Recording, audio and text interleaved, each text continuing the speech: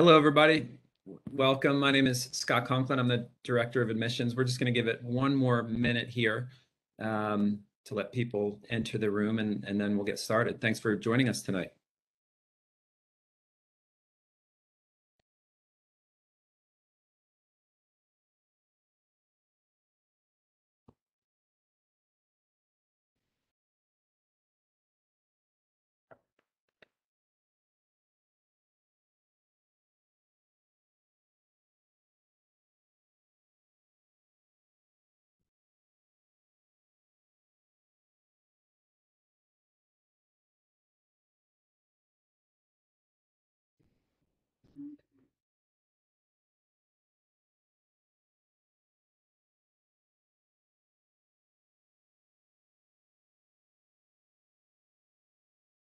All right, so I think we'll go ahead and get started. Um, thank you everybody for joining us.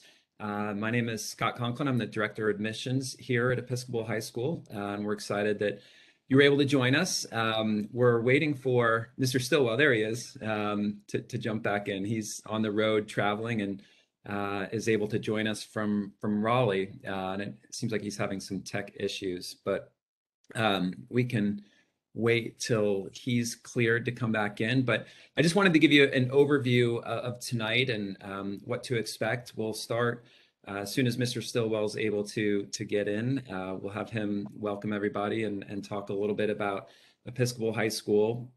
Uh, and then we're going to hear from our students. Uh, so we have seven uh, students who will join our student panel, uh, and then we'll kick it over to a faculty panel. Uh, we'll talk briefly about the application process and, and what steps to um, think about as you're um, considering applying to Episcopal High School. And then we'll end the night with an opportunity to uh, hear from various uh, program directors, coaches, teachers um, in areas of your interest. So those will be breakout rooms um, and we'll describe how those will work. Mr. Um, Stillwell, I don't know if you're able to chime in here. Um, if not, you, there you go. Can you see me in here? We can. Yep. Oh, great.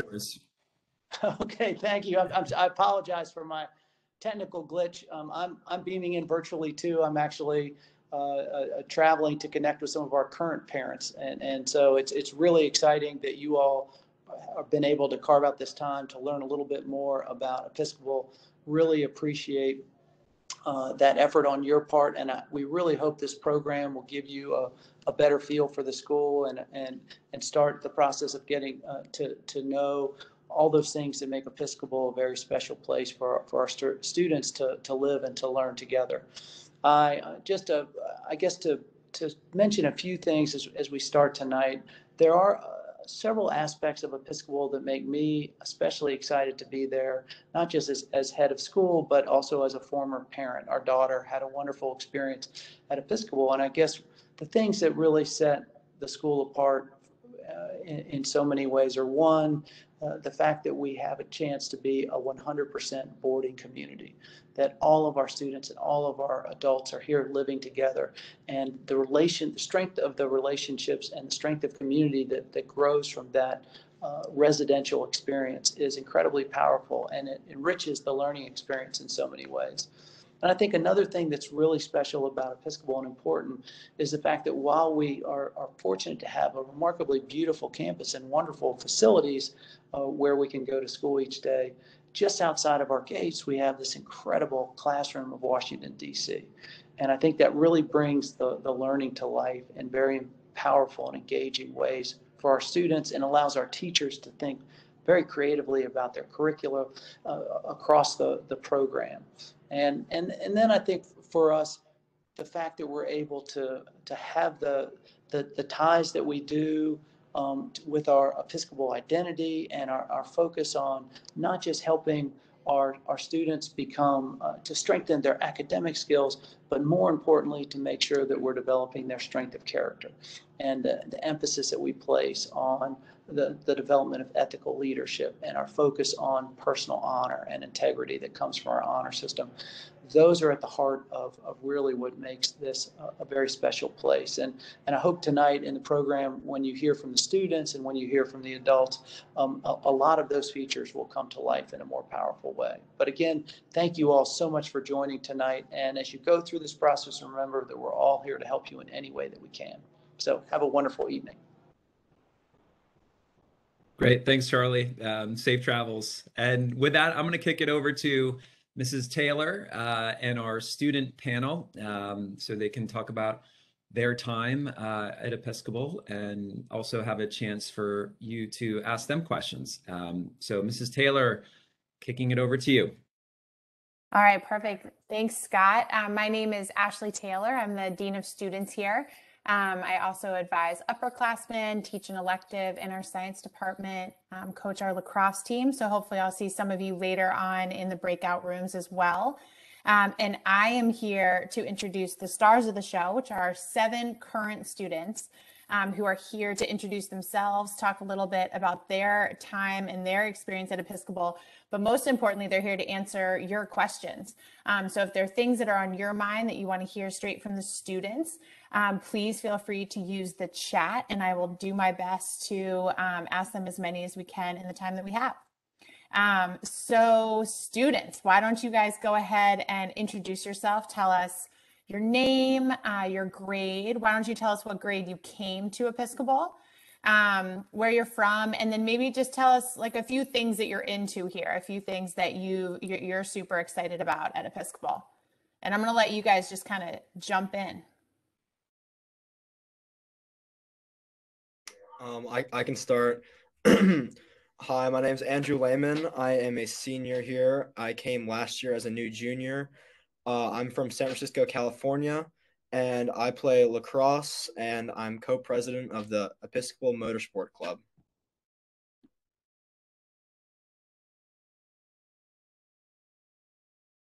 I can follow. I was also a new junior. Um, I'm Anna Scott Arnold. I'm from Denver, Colorado, and I'm a senior this year. So I was a new junior during COVID. And I am on the honor committee and a monitor, and I love all sports. So I do field hockey and I do lacrosse with Miss Taylor. I'll go. My name's Hadley Applegate. I'm from Lexington, Kentucky.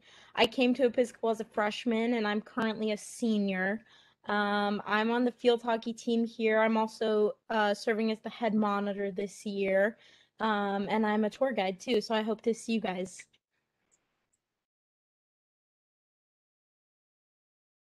I can go. Oh, I'm sorry. I'll go first. Hi, my name is Benny Wong. Um, I came as a freshman and I am a junior. Um, I am a prefect, so I live with the freshmen on the freshman dorm and work to um, make their lives as comfortable as possible. I'm also the editor of the editorial section of the school newspaper, um, and I'm also with our school soccer team in the fall and in the winter and in the spring, and with the school theater productions. All right, I can go. Um, hi, I'm Banks Kraus. I'm from Charlotte, North Carolina. Uh, I'm a current junior, but I came when I was a freshman, so this is my third year. Um, I'm a prefect, so I live on Anderson, which is the freshman girls' dorm.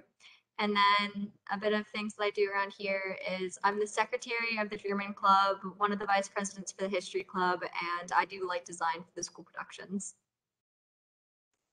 I can go. Um, hi, everyone. I'm Sydney Hopkins. I'm a junior. Um, I came here last year as a new sophomore. Um, I'm from Princeton, New Jersey. And like Banks, I'm a prefect, so I live on the freshman dorm. I'm the co treasurer of the BSA. I run track. I play the flutes. And yeah. Hi, uh, my name is Kofi, Kofi Egan. I'm a junior. I came here my freshman year and um, I'm from Atlanta, Georgia. Not sure if I said that already. But yeah, I play the sax. Um, I'm also a prefect. I live in a freshman dorm, serving as like the supporting beam for the freshmen. And um, yeah, excited to talk to you guys today. Awesome. All right. Well, thank you guys. Um, why don't we? I'm not seeing any questions in the chat quite yet from our visitors. So why don't we start with Uh, Mr. Stillwell referenced this. Could you guys talk a little bit about what our Washington program looks like and how that works into your life here? Um, let's start with sort of the academic piece. So maybe you could jump in and talk about a flex block that you've done this year. Um, and maybe explain how that works too, just so the new students have a sense of what that looks like. Anyone want to want to kick that off? I'll start.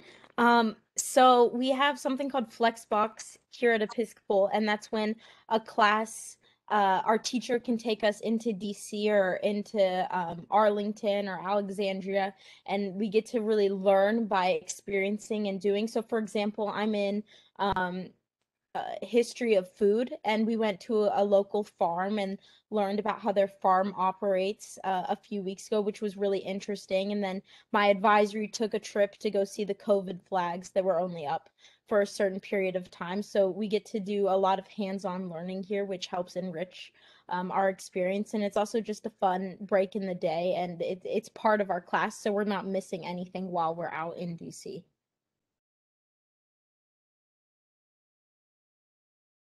Awesome. Thanks, Hadley. Anyone else want to give an example of a flex block that they've done so far this year?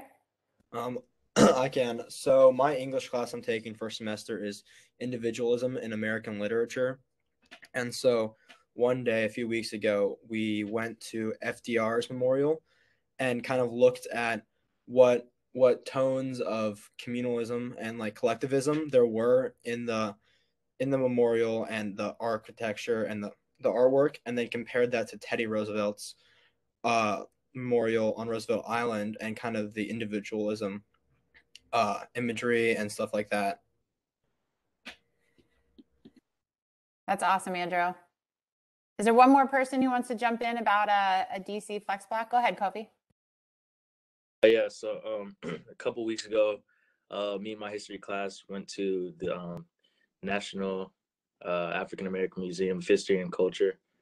Uh, or the yeah, national yeah. That we went there a couple weeks ago while learning about the um, sort of history of um, Black people and African Americans in uh, well America or in like different areas during what the transatlantic slave trade. So like we dug in to like the uh, sort of things that happened and um, learned about sort of like everything that had to do with the uh, era at the museum. So it's pretty interesting learning about that while uh or going to the museum while learning about that in class. And uh tomorrow I'm actually going on an, um, a Washington program experience to Mount Vernon. So looking forward to that. That's great. Thank you guys for jumping in. Um, what about what made you all choose Episcopal? So we've got people who may be tuning in for the first time to learn about what life is like here. You guys have gone through that process before. What was it at the end of the day that made you choose Episcopal? Go ahead, Banks. Um, so for me, part of it was just like the community. I remember the first time that I toured, um, it was actually over the summer. And when I was walking around, I met Mr. Lee, who used to work in admissions here. Uh, and he stopped uh, he was walking his dog and he stopped and he talked to me and we had like a solid five ten minute conversation and i just remember that really vividly and it was really nice and then i came back and i did like an official tour during the school year and i just remember the person i shadowed was really nice and all the classes i sat in with were just amazing. Um, and like the community is definitely something that's like on a next level here because like everyone kind of knows each other and even if you don't know each other you're still like saying hi to each other in the hallways and it's just it's really nice. Go ahead sydney um, for me it was the variety of perspectives and just being around people from all walks of life all over the world um, who've had a bunch of different experiences and being able to learn from them and those are your peers and you're learning and growing together in this like awesome place that's what made me choose Biscuit.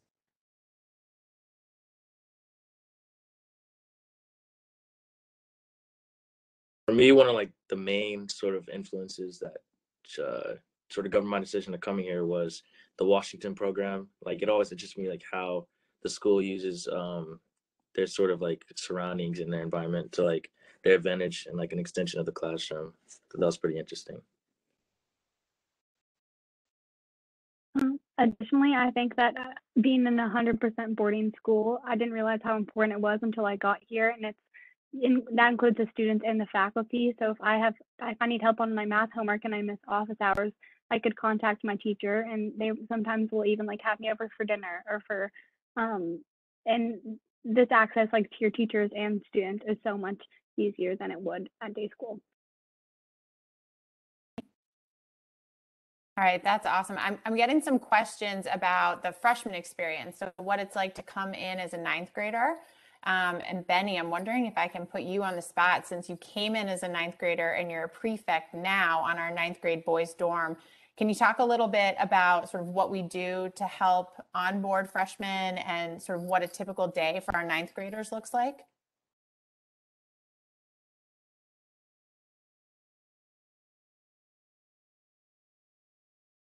Benny, I'm actually having trouble hearing you.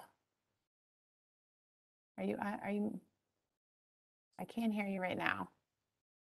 Why don't you try, why don't you try logging off and hopping back in?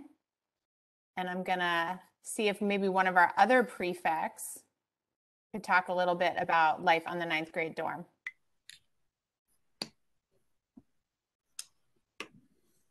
Uh, I'll take a stab at it. So, um, all the freshmen live together um, on either Anderson or Hummel, the girls of the boys' dorm, um, and then there are prefects and monitors who live there as well. And um, you wake up, there is breakfast sign-in, um, so you have to sign in between, I believe, 7.30 and 8 o'clock.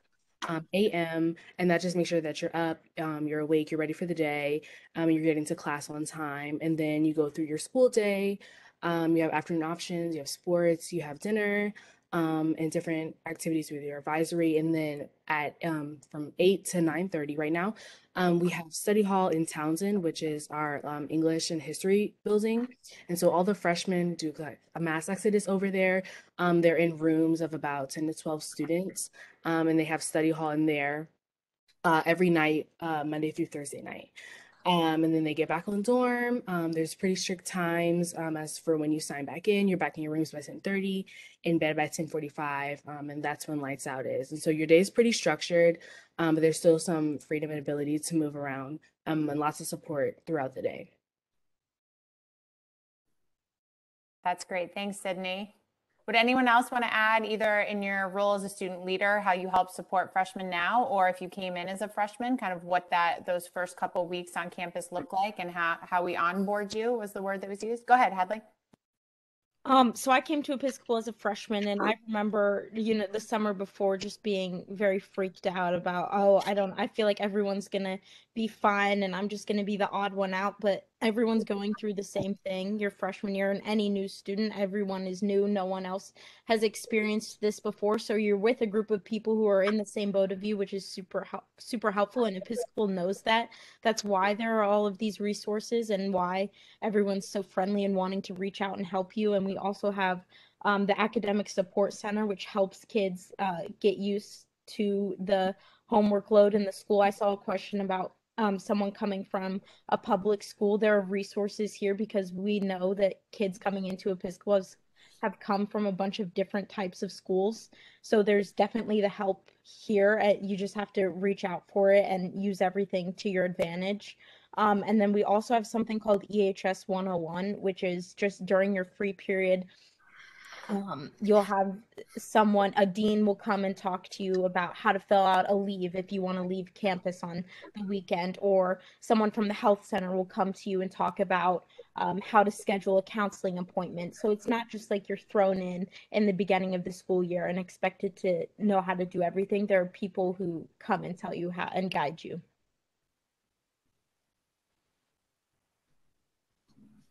Lee. Benny, I know you had your hand up. Did you want to add something in on that? Sure. Um, could you guys hear me now? Awesome, thank you. I apologize for the previous technical difficulties. Um, as I, um, I, I, was, as I, I was trying to say, um, a very big reason I, I chose to become a prefect was um, when I when I was a freshman, uh, my prefect then Justin he helped me a lot in transitioning to this community. And I probably forgot to mention in my introduction, I am not American. I'm an international student, so um, the transition for me was arguably much more challenging. I was not with my family. I was very far from my family. I had to move to a completely new environment and um, to start anew. Um, but um, the prefects living with me, my roommate, and many other people helped this transition, and they were all very friendly people. And the school does a lot to support, and especially for international students. If there are any inter- international students here today, we have every year a coordinator for international students that help organizes the trip from from home, from other countries to campus, and also organizes um, uh, places to stay over uh, longer breaks if that is necessary.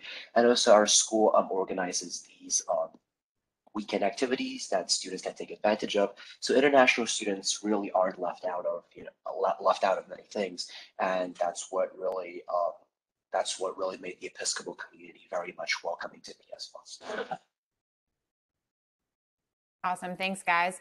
Um, okay, the questions are starting to come in. I'm wondering if someone can hit um, who did not come as a ninth grader. So, what was it like if you came as a 10th or 11th grader? Did you feel like that was a disadvantage, or how, how did the school help integrate you when you didn't come in with a whole ninth grade class? Um, so I came in as a, a new junior last year during COVID, and it was definitely a very unique experience. We were kind of confined to our dorms a lot of the year doing a lot of like hybrid WebEx and then in person learning.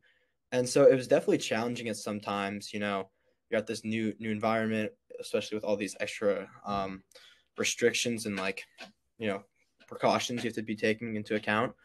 But I, I quickly overcame all my fears because I would just be walking, probably with like a little bit of like, it's pretty probably easy to tell that I was a new student. I was kind of had this like fresh eyes probably, but I teachers who I'd never met before would, and students alike, they would come up to me and be, introduce themselves to me, like, "Hi, what's your name? Where are you from?" and stuff like that. And then as I saw them like in the hallways or something throughout the year, they would just make small talk. They'll get to know me better, give me little tips and tricks and stuff like that. And quickly, like any fears or oh, I would like sometimes I was really worried about when I came to school, like, oh, these kids have been together for two years. I'm not gonna fit in. Like that quickly was just not even a concern for me. Thanks, Andrew. Scotty, I know. Yeah, go ahead. Oh, I can add on to that. I was also a new junior last year um, with COVID and everything. But I think what Episcopal does a great job of, and even though it can sometimes be scary, but our schedule is planned out so beautifully. And there might not be like so, like not a ton of time for you to like hang out in your room or like take a nap in the middle of the day.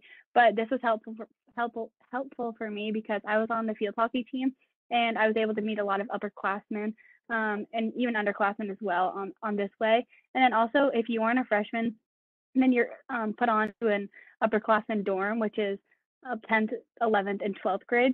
And so then you can meet people all across different grades, which is also helpful um, during like your nightlife.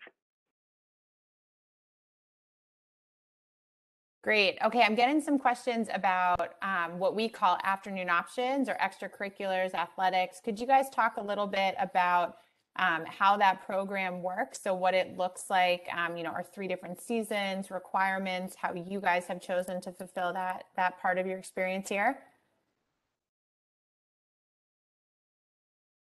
Uh, I can take a stab at it if that's okay with y'all. Um, so one of the requirements, like first and foremost, is you need six sports credits to graduate. So one season uh, equals like one sport credit.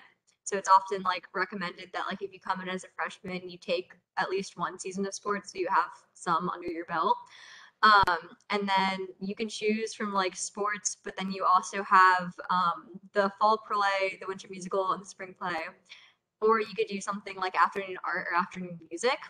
Um, if you want to do something in the afternoon, you do have to choose between like sports or art. But during the class day, we also have art classes for instance, my freshman year, I did theater one and two, um, and now I'm in choir, so I have choir um, for the whole year. And I also do tech alongside of that. So in the afternoon, from like four to five forty-five, six-ish, I'm in the theater, either working on lights, working on set, helping the actors with their lines. Um, and then in the spring, I'm actually like a catcher for the softball team. So I do that in the spring, and I kind of have a way to balance um, both of my arts and my sports. That's great. Thanks, Banks. Um, would someone want to dive into what the weekends look like here? We've gotten some questions about Saturday classes, um, different types of activities that are offered. Someone want to talk about just kind of a standard weekend at Episcopal?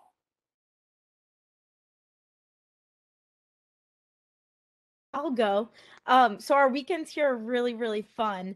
There's always something happening on campus. We have a, an amazing activities committee that helps plan activities on campus and also off campus. So um, you can take one of the buses to the mall, or I remember a few years ago we had laser tag. Um, on campus, there are DJs a lot. There's often movies, fire pits outside, um, karaoke night. So there's always something to do. And if you want to do it, that's awesome. And if you don't want to do it, you can do your own thing. So there's a lot of freedom on the weekends. But you're also welcome to go off and go grab dinner with your friends. Um, and so we have we have some we have an app on our phones that we fill out and tell the school where we're going and we get it approved by an adult on campus so the school always knows where we are so we can't just leave without telling anyone um, they always know where we are and which is another reason why episcopal is so great because there's stuff to do on campus but off of campus in dc and georgetown and alexandria so really you'll never find yourself just sitting in your room wondering what to do on the weekend. Yeah, I just like to add on to that. Like we have a whole uh, like department, I guess, called like the activities department, who's like it's their job mostly to like come up with fun stuff to do for us on the weekend. And so there's always something to do. And then additionally, a lot of clubs will also try to do their own like try to do something like they'll have outings like motorsport club. We're trying to go go karting one weekend, and so we're trying to raise money to go go karting and take a bunch of people go karting, which hopefully will turn out. But there's just really stuff like that, and if you have a really good idea and you're like, hey, I really want to try to get a bunch of people to do, you know, whatever it is, you can go to someone like get your buddies and then go to a dean and they can approve it for you, like Hadley said, and then you can go do it. That's great. All right. Well, what about um, shifting gears to more of your academic experience? Um, you guys did a great job talking earlier about the flex block, but could someone talk about sort of the the choices that you have in courses? Um, so, sort of what it looks like when you come in as a ninth grader, what kind of classes you'd be taking, and then as you get older, kind of how how you have a little bit more choice.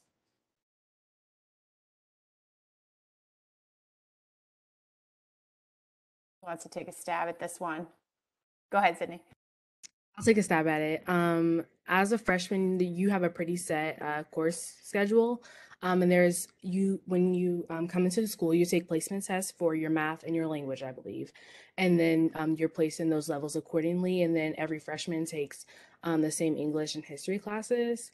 Um, and then as you as you get older, um, you have more opportunities to take electives. Um, usually after your sophomore year, um, every um, junior and senior takes an advanced English class, um, two two courses over the year, and then you have there's science electives, there's history electives, there's math, and there's ability for you to just move up and down and um, you can double up on science, you can double up on math, and then um, are also an opportunity to j- take GOAs, which is Global Online Academy, and those are like some s- selection of classes that aren't um, offered here, and they're more asynchronous and they're um, online and things like that. So that's how the course load uh, works, and the the school works with you a lot to put you in the um, right courses that are challenging you accordingly. That's great, Sydney. Thanks. Um, there's a follow-up question here just about sort of the teaching style, the vibe of the classrooms here. Does someone want to describe? I see, see your hand, Kofi. Go ahead.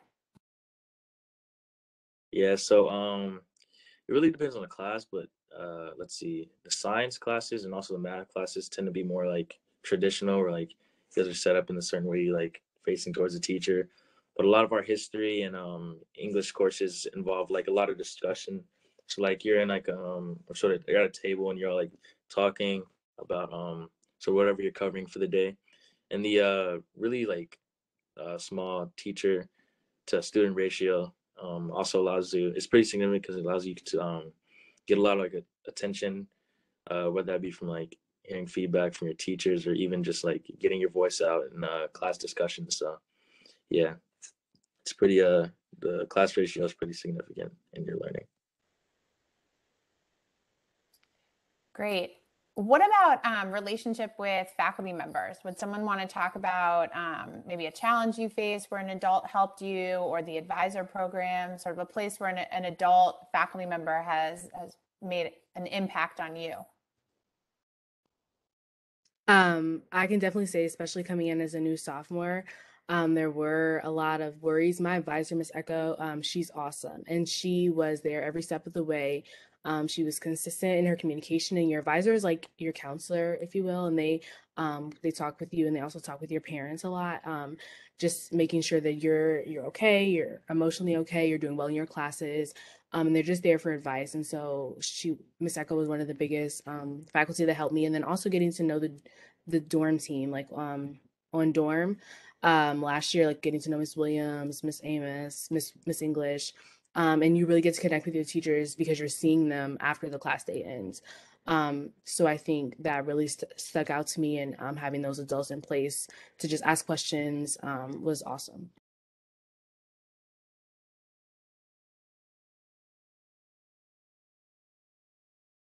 Anyone else want to take this one?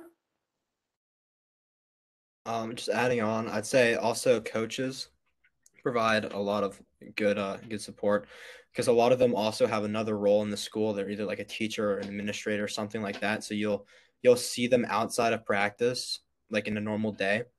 And at least for me, uh, Coach Conklin or Mr. Conklin, um, he's the lacrosse coach, and so I really was able to talk to him a lot about some of my worries and issues. Um, uh, and it was just nice to be able to see him, see him a lot around campus, like not in a coach and player setting, but more as just like a, like kind of mentor and student setting.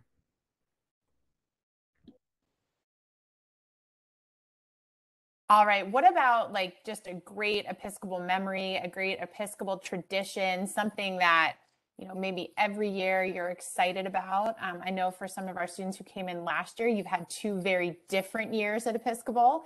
Um, but are, are there any things that you think are just super awesome that the kids should hear about before we wrap up tonight? Go ahead, Banks.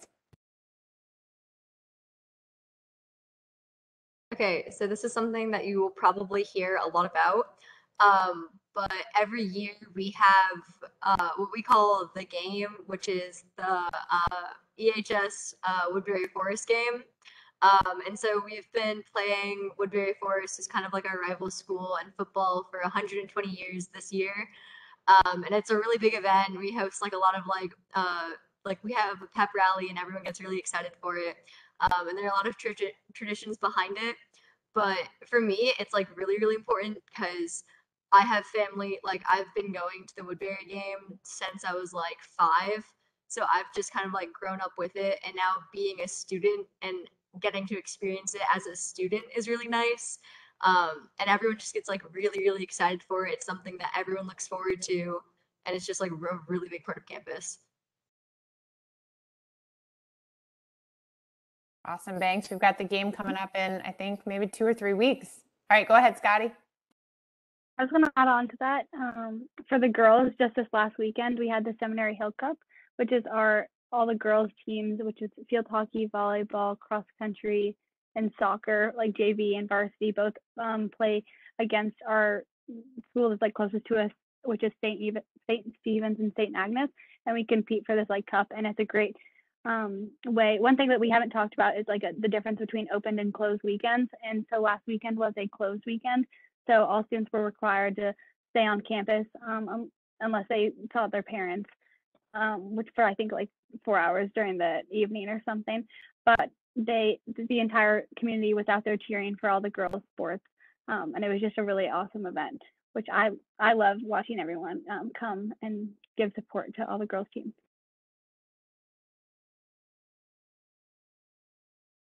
Go ahead.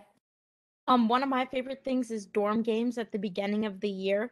So the first weekend at school, uh, we have something called dorm games, which is where each dorm, um, everyone on that dorm gets a shirt, and you're competing in activities like egg toss, tug of war, just fun. It's like a big field day. Um, and it's really fun because it brings the whole dorm together and just sets the tone for the uh the school spirit. And I would say that's another really amazing thing about Episcopal is uh, the school spirit and supportiveness of everyone, not only in sports but also um, like going to the theater production or art showcases. Um, students and faculty are really supporting each other everywhere throughout the school, which is amazing.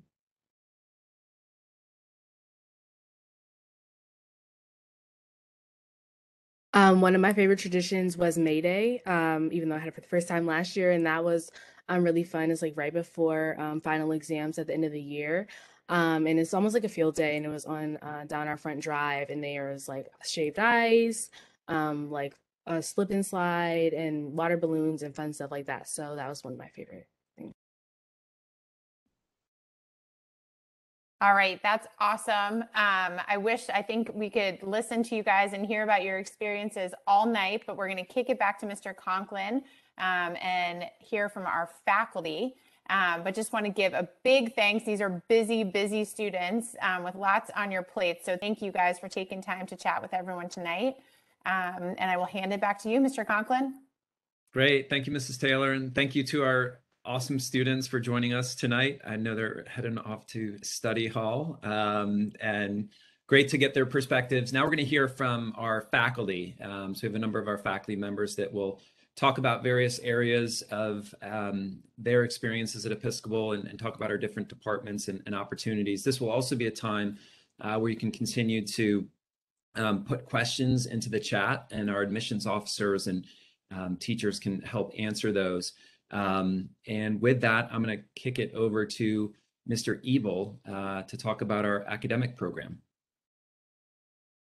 Thank you, Mr. Conklin. Um, hello, everyone. My name is Nate Ebel. I've been at Episcopal for the last 13 years, um, and during my time here, I've, I've done a little bit of little bit of everything.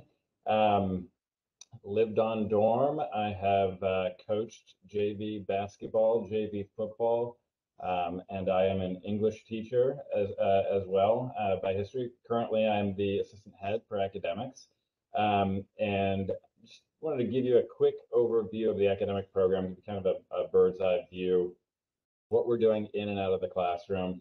Um, and you heard some of the students talking about um, what we are doing uh, with DC this year. And this is a, a sort of new um, way of accessing the city. And so it's, a, it's a, actually a really um, exciting time for us um, because we are able as individual classes, as individual teachers to design experiences that fit in our classes uh, to get into DC and use the city to um, sort of expand the walls of the classroom.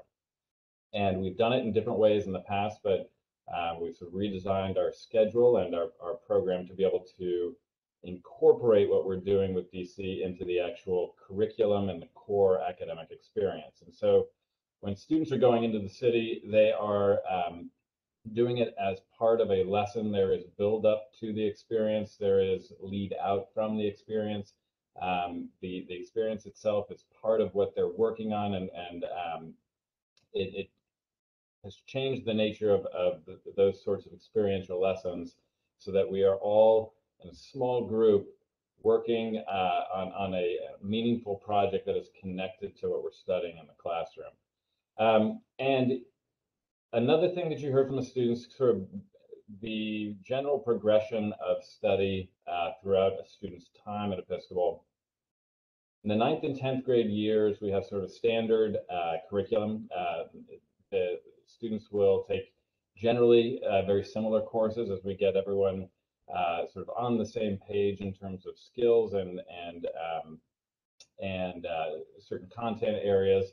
Um, and then in the junior and senior years, students are able to really branch out and um, start to pursue individual interests and take um, any number of different courses um, in their in their area of interest. We actually offer over 140 different uh, classes at Episcopal, and so our, our, course catalog is incredibly expansive. Um, we we have over 30 advanced uh, classes as well.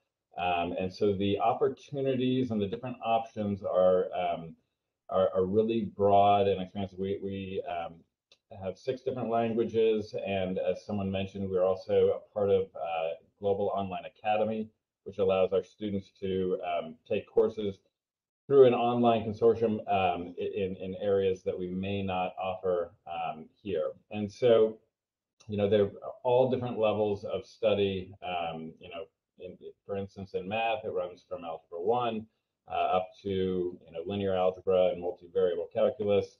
Um, our computer programming, uh, advanced computer programming uh, course is very popular right now. But we also have interesting electives like advanced 3D modeling um, and advanced engineering that are a little more hands-on um, and a little more practical application of that um, uh, uh, uh, computer science. And so um, a lot of really interesting um, and, and creative courses that our, our teachers design.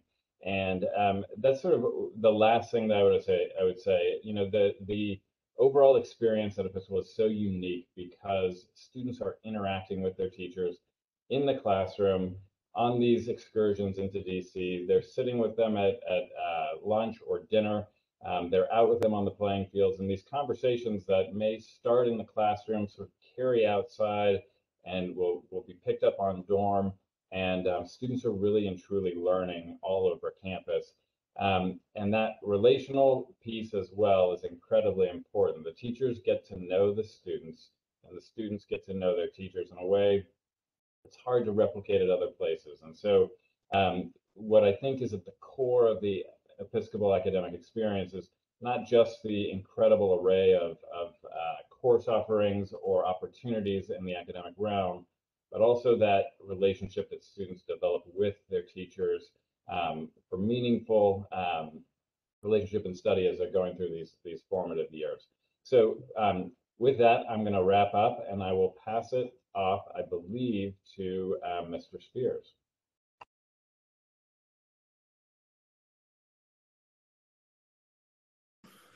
Thank you, Mr. Ebel. I appreciate it very much. Good evening, good evening, everybody. As um, as Mr. Ebel said, I'm the assistant head for student life, and I'm also a current parent of a 10th grader here.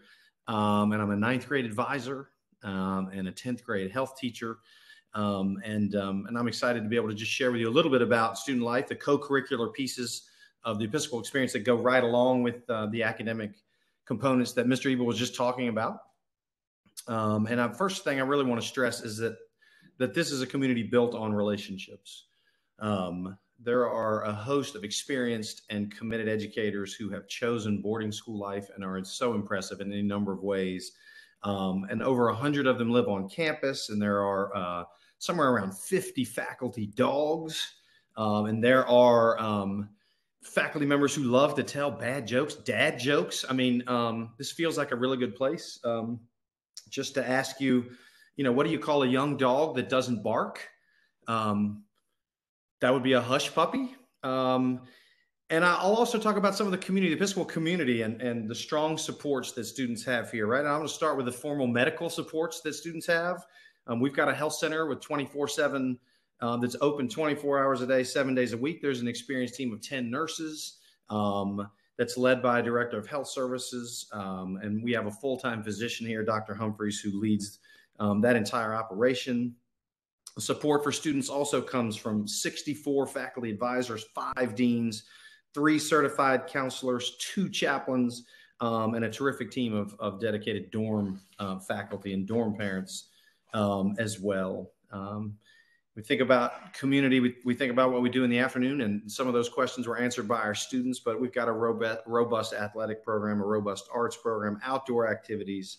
Um, science, etc. Lots of ways to be involved. Uh, I saw a question about food. This is very important in our boarding school community, right? There are three outstanding meals a day in our dining hall, including vegetarian and gluten free options, full salad bar, full sandwich bar, um, student center with a grill that, that's serving snacks um, pretty much around the clock every day, uh, and some late night options. And we have restaurants nearby. There are times when students are permitted to walk to those um, and get some food, as well as sometimes when students can actually do have delivery uh, come to campus for them too. So um, know that if you come to Episcopal High School, you're going to be eating very well. Um, there were some good questions about weekends. We've got over 60 student run clubs and the terrific committees that help us set up exciting and fun weekends for students who want to do things formally and fun and silly, um, and also some stuff that's that's uh, more serious and more enriching uh, as well. And then if you just want to chill and be on your own, then uh, all that stuff uh, is optional.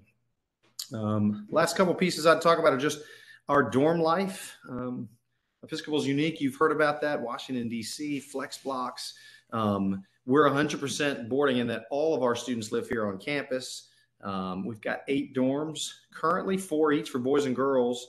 um, and and wonderful adults who live there on dorm with them, and teams of of faculty who come onto the dorms.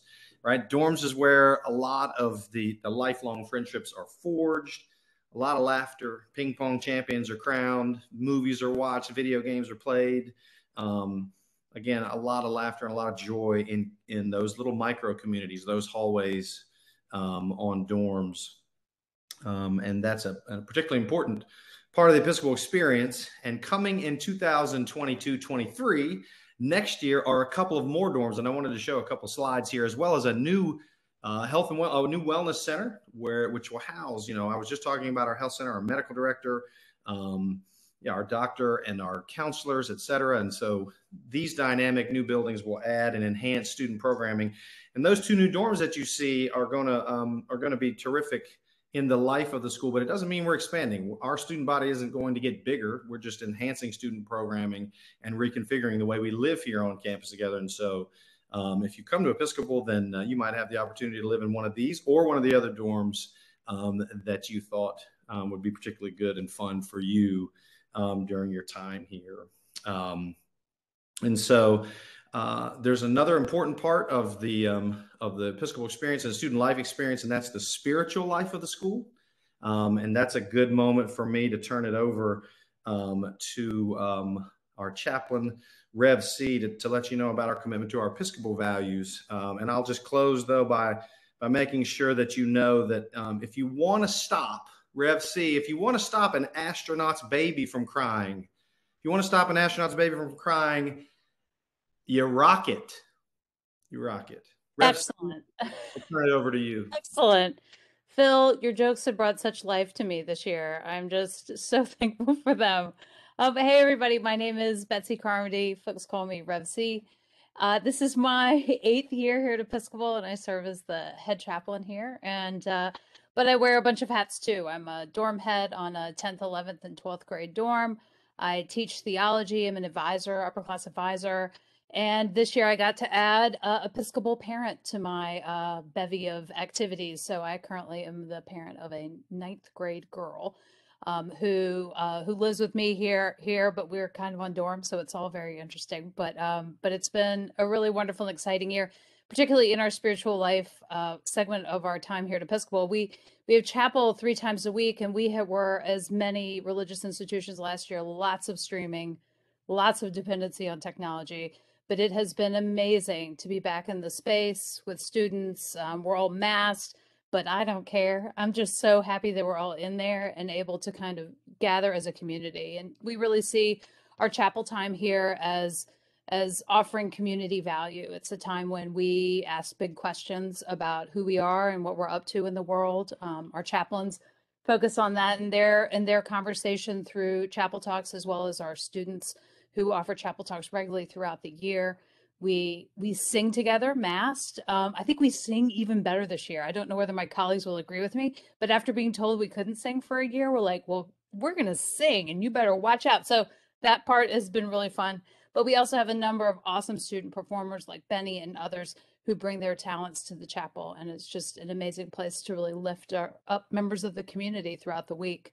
Uh, we also have um, we have Sunday options, weekend options. Being in DC, we're able to support a lot of different religious experiences for students, whether you're interested in getting off campus with your family, or you're interested in trying out a new house of worship for yourself, or um, attending our Episcopal service here on Sunday afternoons, uh, or mosque or temple, all of those things. We have we have a lot of close neighbors and relationships across the religious spectrum, and and like being able to connect students in that way as well.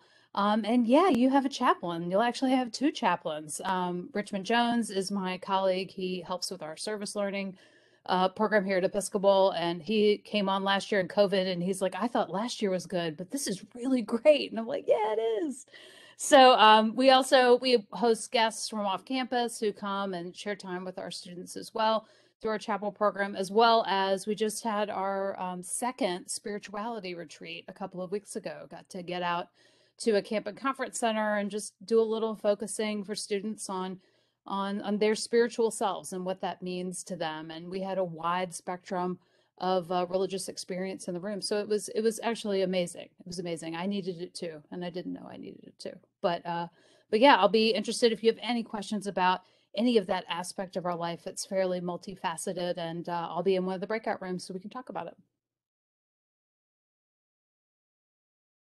Thanks, Betsy. Um, my name is Lewis Smith. I am the director of the Office of Community and Equity. I see where we are in mortal danger of running out of time. I'm going to try to go quickly so that I don't shortchange those behind me. Um, I just started my timer.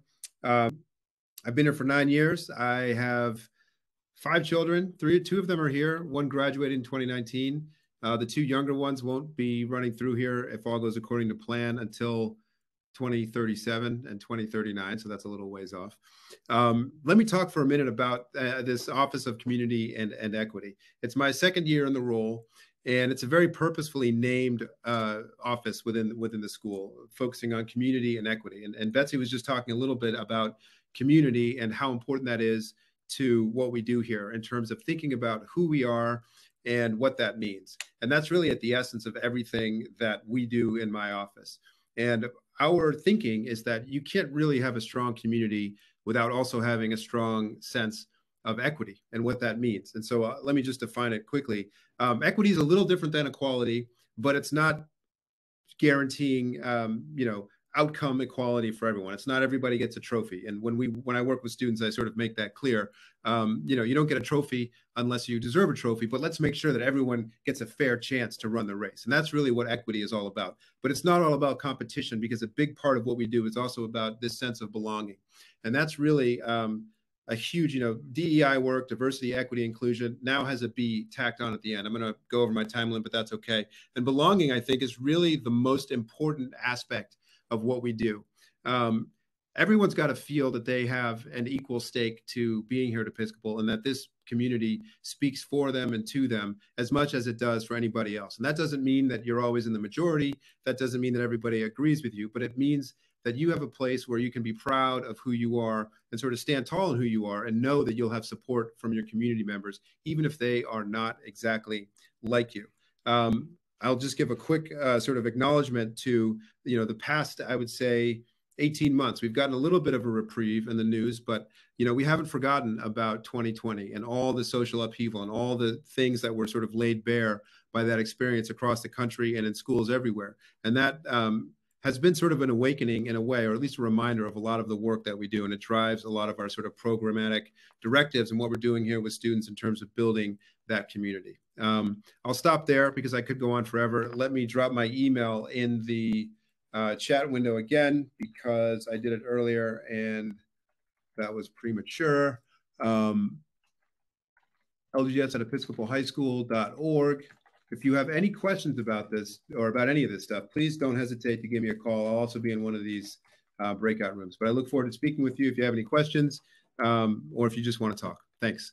And I think uh, who's next here? Jen, I believe. I'm up. Hi, everyone. My name is Jen Fitzpatrick. I'm the Director of Athletics. Uh, this is my 15th year at Episcopal. And in addition to my role as AD, I serve as a girls varsity soccer coach and advise ninth grade girls.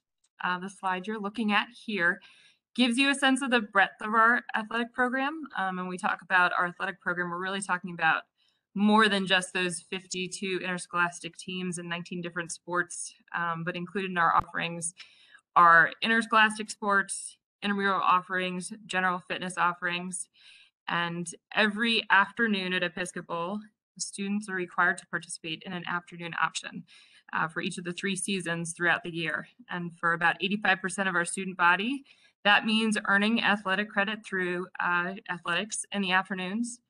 About 20% of our senior class will go on to compete at the college level, but we uh, support a wide variety of offerings for students um, with varying levels of experience and ability. Um, athletics and athletic activity are very much a part of the fabric of what we do here at EHS. Uh, you heard some of the students talking about some of their favorite traditions and uh, the Woodberry football game, uh, Seminary Hill Cup, but it's just one more piece of life here at EHS where you get to see students supporting each other and their different interests. Um, we want our interscholastic teams to be competitive, but we really want to do it the right way. And that starts with making sure that our programs have the resources they need to be successful And if you come to campus right off the bat, you'll get a pretty clear sense that we've got some phenomenal facilities. We're lucky that most of our programs are able to train on campus, and the ones that aren't, uh, things like climbing, crew, swimming, because we're in this metropolitan area, have some really incredible options for off, off campus uh, training sites. Um, but beyond that, the most important resource that we have, and you will hear it throughout this evening and uh, throughout any visit that you will make to Episcopal, is the people that work with our students. Um, our athletic department includes two full-time athletic trainers. We have a part-time strength coach, and this year we are thrilled to have added the position of college athletics advisor, um, a member of our admissions staff. Also work specifically to counsel aspiring college athletes about the college recruitment process, and that's been um, a really significant addition for a lot of our students for whom that's a goal. Nearly two thirds of our 100 coaches are also full-time faculty or staff members at Episcopal. Uh, so I think you heard earlier from Andrew about how he might be able to connect with Coach Conklin off the lacrosse field uh, as a mentor, and that's something we think is really important that there's a connection to a full-time faculty or staff member on each one of our teams. Um, and so the lessons that are being taught in the classroom are extending to the playing fields or the courts. Um, to that end, I would say as you work through the admissions process, please let us know about your different athletic interests. We're really eager to connect coaches and student athletes uh, with potential additions to our different programs. Um, and before I turn things over to Mr. Carter, I would um, preface my announcement of our director of the arts program by saying that what I really love about Episcopal is that our students are super supportive of each other and all of their different interests. And um, I think our departments work really well together to support each other. You see lots of athletes who one season will be playing a competitive sport and the next moving on to the play um, or in the daytime singing in our choir. And that's an important part of who what Episcopal is. Um, and we're eager to get to know all of you and all of your different interests. All right, Mr. Carter, you're up. Thank you. Thank you. My name's uh, Mark Carter. I am the director or chair of the arts department, and more specifically, the director of uh, instrumental music is my area uh, of expertise. But as everyone else has mentioned, we all wear different hats here.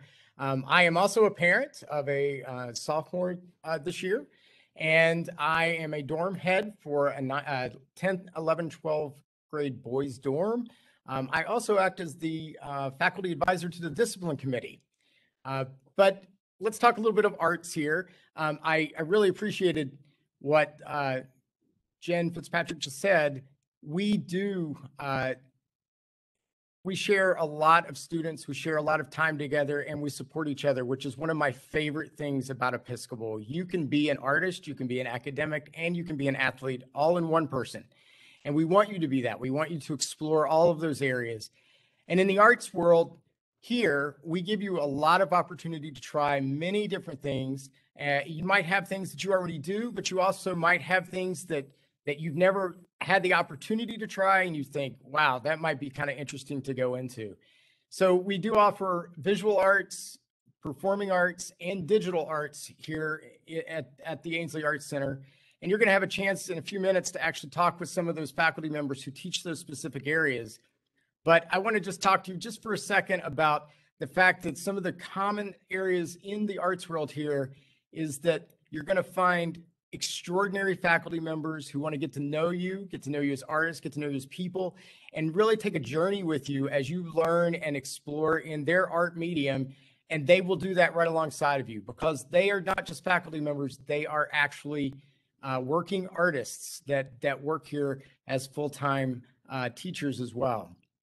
And in the building, uh, we, we have 10 full time faculty and staff um, to serve our artists on campus and we also have around 17 adjuncts that come onto campus every week to provide private lessons in a variety of different areas of the arts department. So you have a lot of opportunities and things that you can take.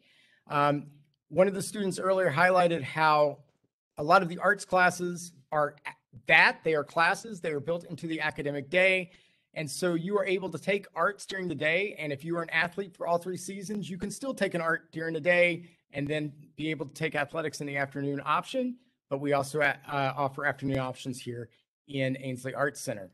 Um, there's a lot to talk about with the arts area. I will be around for the for the later uh, conversations in the breakout rooms. So feel free if you have any specific questions, uh, come by and see me or go see any of the other faculty members. But we hope to hear from you. We want to know what you want to know about, and we want to be able to welcome you here at any time. I think I'm passing this off to uh, Jeremy Goldstein. Yes, indeed. Thank you, Mark. I appreciate it. I apologize for being the one that takes us past eight o'clock. Um, but I, I want to thank you all for sticking with us and hearing um, about our great school, our great community, and all the great people. Um, I am the executive director of the McCain Ravenel Center for Intellectual and Moral Courage. And that's a long title for a center that holds all of the, um, actually, we're involved in every department of the school, to be honest with you. Um, I'm also the chair of the theology department. I teach, I do uh, residential life as well. Um, so we all wear those hats. And you hear everybody mentioned that, but that's really one of the reasons why we come to Episcopal is that we get to have. Um, there isn't a day that goes by that that we're not having an exciting day. There's always a challenge. There's always fun to be had, um, and we get to where you get to shift to different roles.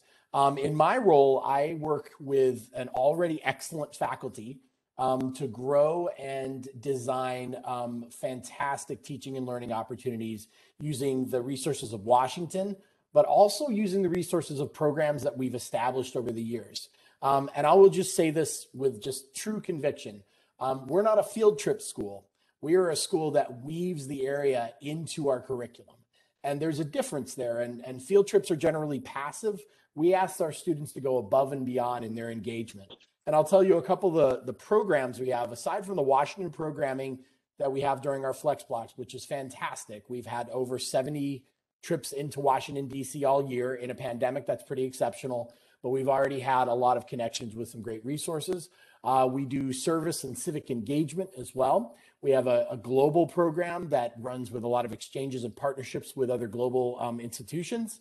Uh, we have a leadership and ethics program that um, is a building curriculum through four years of high school where students get to learn a little bit more about decision making and ethical decision making.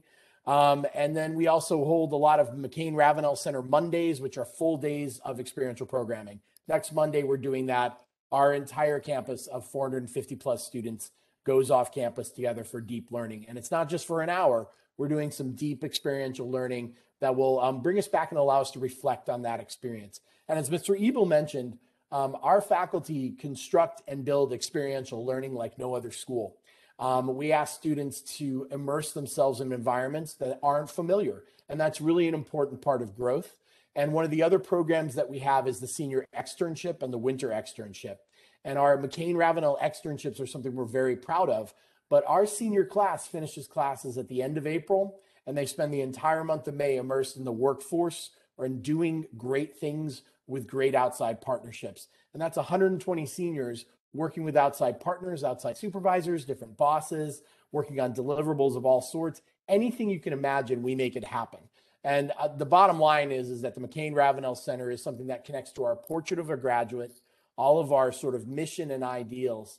And in addition to that, it is a resource that um, commemorates the relationship between Senator John McCain, who was a 1954 alum, and William B. Ravenel, who was an esteemed educator. And we're not naming the center after the people, but we're naming it after the relationship.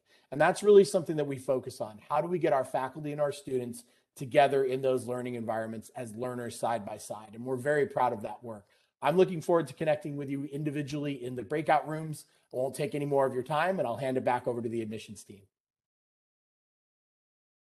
Great. Thanks, Jeremy. And, and thanks to our, our amazing faculty. I know that's a lot of information that we just threw at you. Um, and there will be more opportunities to learn uh, a, a, little bit deeper about uh, these opportunities and, and, questions that you have about our specific programs. Um, and we ended right at 8.05. Amazing. Uh, right when we were scheduled to, to finish. Um, I'm going to talk briefly about the application process, uh, just so um, you're aware of some of the, the requirements and also kind of the timeline. Uh, and then I'll turn it over to Mrs. Kim Senior so she can talk about how we'll break out um, into the breakout rooms and have an opportunity to meet with our uh, teachers and program directors and, and, coaches. But to talk quickly about the application requirements, we uh, do have two uh, common applications that we accept, uh, the Gateway to Prep Schools um, and also this standard application online um, through uh, the Enrollment Management Association. So either is perfectly fine. Um, you can find both of those on our website. Uh, we do require three recommendations from your principal, counselor, um, your current math and current English teachers. You can also submit additional recommendations from uh, a coach, um, another teacher, could be a personal recommendation. So there are opportunities to submit um, up to two more uh, recommendations. We ask for a transcript from the last two years, so your current year um, and the year before. Uh, we do require standardized testing for students whose uh, first language is not English. Um, so that uh, can be done through the TOEFL, Duolingo, or IELTS. We are test optional uh, again this year. We were test optional last year. You do not need to submit an SSAT score. Um, if you have questions about that, uh, I encourage you to reach out to us directly, uh, one of our admissions officers or me, and, and, certainly we can help guide you in terms of whether or not uh, you should submit uh, an SSAT score. Uh, interviews. Uh, so we're doing those in person and virtually. it's been great having families back on campus for tours and interviews. I think most of our officers or all of our officers would say that this is the favorite part of our jobs is meeting you all. Um, these are fun conversations. Uh, you shouldn't be afraid of this. This is uh, really an exciting time to share what you're interested in, um, to tell us more about yourself, and also an opportunity to ask questions. Um, and so we, we look forward to those of you that have not had that opportunity yet. Hopefully, uh, you're in the process of, of scheduling that. We will interview all the way through the end of January, so there's still plenty of time. Uh, in terms of our dates, our timeline, our uh, application deadline is January 15th, uh, so still a few months away. Uh, affordability is, is, certainly an important piece of this process. And for those of you that will be applying for financial aid, the financial aid deadline is February 4th. Uh, if you have any questions about the financial aid process, I encourage you to reach out to our Director of Financial Aid, Mr. Vincent Hodge. Uh, you can find his contact information on our um, financial aid website. Uh, and March 10 is our notification date.